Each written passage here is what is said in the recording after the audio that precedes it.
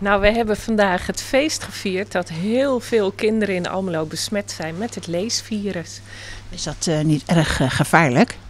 Nee, dat is juist heel goed. Dus we proberen ze nog weer extra te besmetten met zo'n mooi afsluitend feest. Er werd een prijs uitgereikt wie er had gewonnen. Ja, weet je ook wie er had gewonnen? Uh, was dat de Wieren, geloof ik. Uh, hoe kun je nou zo'n zo'n prijs winnen dan? Door allemaal opdrachten en zo uit te voeren over de boeken. Ja, dan krijg je dat op de computer. Krijg je allemaal opdrachten en dan moest je dat insturen. En dan wie de meeste punten kreeg, die had gewonnen. De, de klas die de meeste punten heeft, die krijgt elk jaar een beker.